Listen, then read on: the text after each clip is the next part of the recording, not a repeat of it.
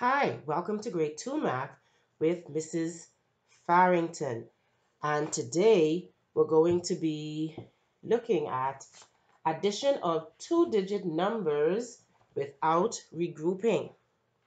Now you may remember that addition is when we join two sets together. We want we will hear words like sum we're going to have words like total, in all, all together. So what it means is I'm going to take this group of items, join it with this group of items to find out how many I have in all or the total or the sum. So we're going to look at some items that you're very familiar with. I went in the back of the yard and I got some Anybody recognize these? They're cherries. So cherries are in season now. So our first problem is we're going to find out how many cherries there are altogether. We have two bowls, an orange bowl and a green bowl. But how many cherries do we have all together? Okay, so first I'm going to count the cherries in the orange bowl. So what I'm going to do is Going to take out. We're going to count one, two, three, four, five, six, seven, eight, nine, ten, eleven, twelve, thirteen, fourteen, fifteen, sixteen, seventeen, eighteen, nineteen, twenty. 21. So there are 21 cherries in the orange bowl. I will write the number 21 and 21 is written two tens and one one. So 21. Now I'm going to count the cherries in the green bowl. I have one, two, three, four, five, six, seven, eight, nine, ten, eleven, twelve, thirteen, fourteen, fifteen, sixteen, seventeen. I have 17 cherries in the green bowl. So now I will write 17. 110, seven ones. So I have 21 and 17. I want to make, I'm writing a number sentence.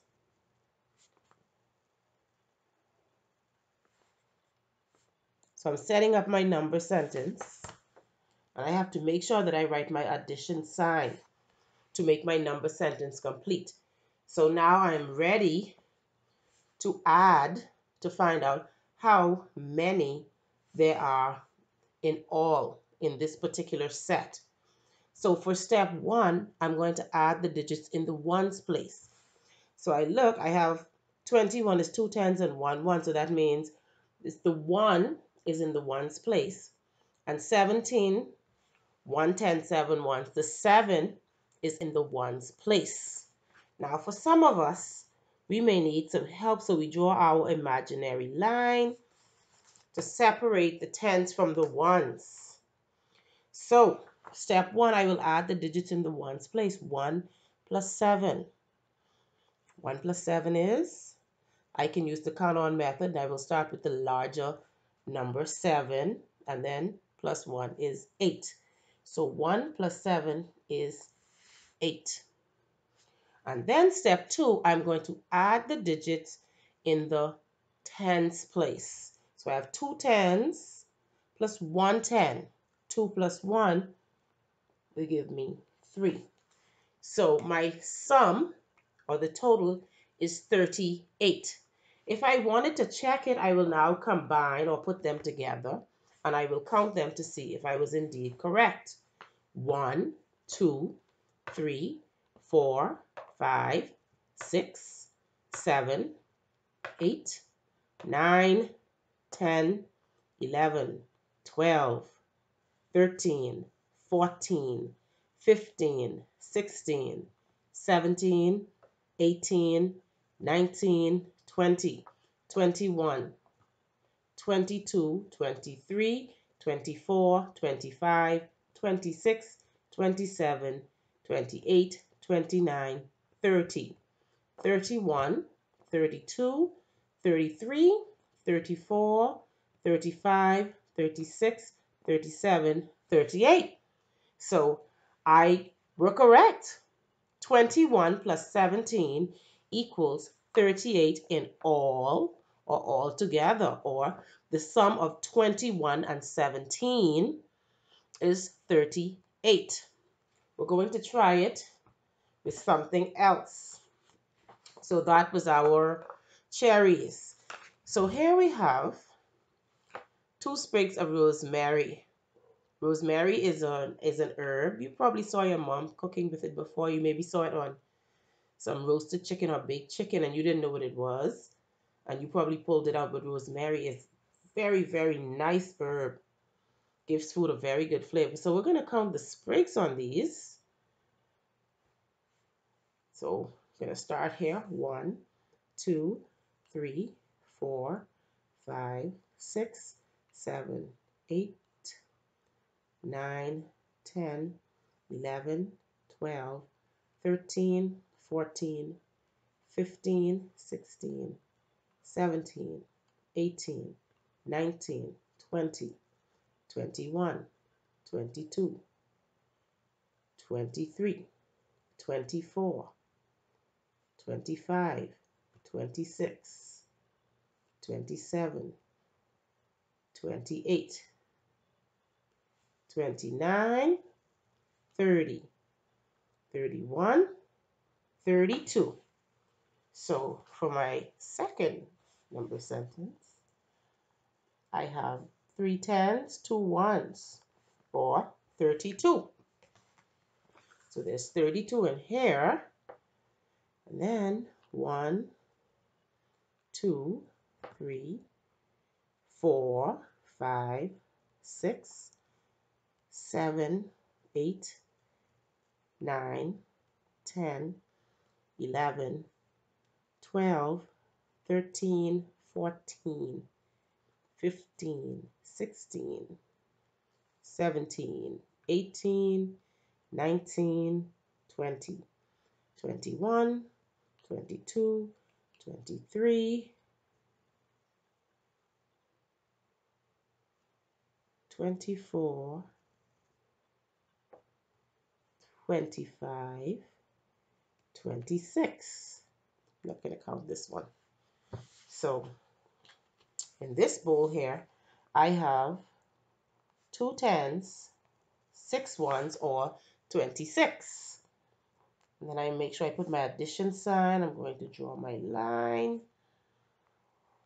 Bam! I've got my number sentence. And because some of us may need this, some of us don't, but it's just a reminder that we begin adding from the ones column. So in the ones column, I have two ones and six ones. So 2 plus 6. Now, if you do not know 2 plus 6 mentally quickly, I like to do triangles and circles. Two triangles and six circles. One, two, three, four, five, six. So I have one, two, three, four, five, six, seven, eight. 2 plus 6 equals 8. Now I'm going to add the digits. In the tens place, I have three tens and two ones. I will do three triangles and two circles. I have one, two, three, four, five. Three tens plus two tens equals five tens. So my sum or the total is 58. That means when I put these two together, I have 58 sprigs of rosemary. Now you may be wondering why I like to do triangles and circles. Because a lot of times, what happens is, and I'm going to show you, sometimes what some students would do, not everybody does it, we will say 2 And then we want to do plus 6. Then we go 2, 3, 4, 5, 6. And all we really did was we only drew enough for 1. So if we separate it, then we would know that there are two different digits that we're adding. So I like to do two different shapes. Now, we have one more to practice on. Boys, I am pretty sure you are going to love this. Marbles. I have two bowls of marbles. I couldn't leave them in the jar. So I have these two bowls of marbles and I need to know how many these are. So Miko and Quay have marbles. Well, if Miko and Quay were to put their marbles together, how much marbles would they have? So let's see how many marbles Miko has. We're going to count Miko's marbles, and these are a lot of marbles. So, I'm going to take them out first.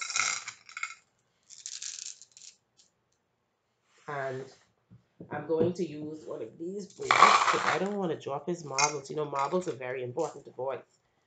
So we have one, two, three, four, five, six, seven, eight, nine, ten, eleven. 12, 13, 14, 15, 16, 17, 18, 19, 20, 21, 22, 23, 24, 25, 26, 27, 28, 29, 30, 31, 32, 33, 34, 35, 36, 37, 38, 39, 40, 41, 42, 43, 44, 45, 46, 47. Miko has a whopping 47 marbles. Miko has a lot of marbles. So let's see how many marbles Quay has. So we're going to count Jaquay's marbles.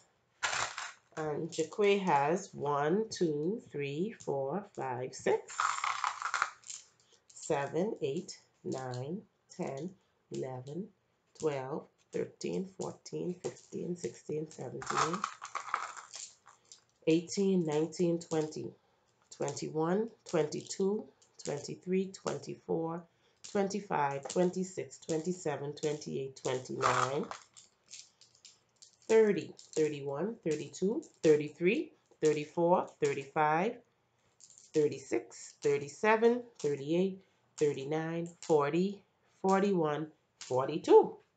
Okay, so Jaquay, Quay has 42. So now we're going to combine, that's another word for put together, by adding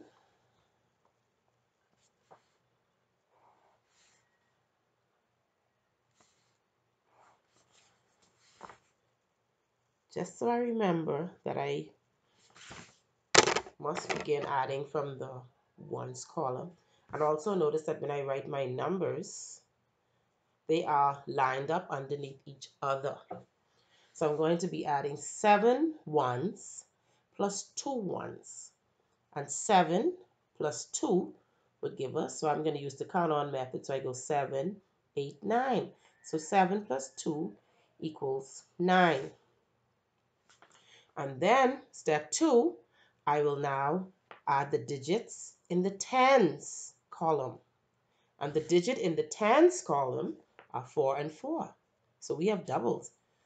And 4 plus 4 will equal 8. So when we combine Miko and Quay's marbles, all together we have 89 marbles. So, just to recap, when we are adding, it means that we are putting numbers or objects together.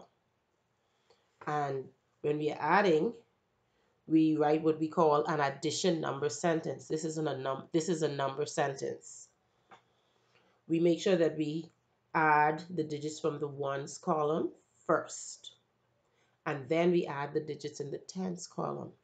But what do we call these? They're not just digits. In addition, these are called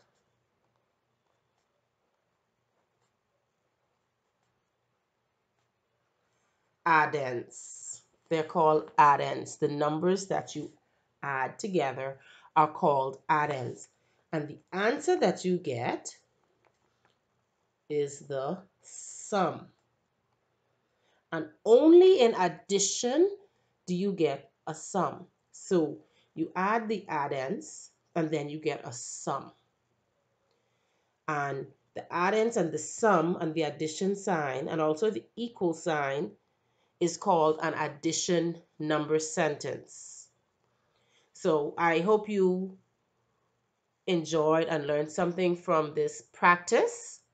Please make sure that you practice with the activities that we have provided. Continue to be safe and we will have a chat next time.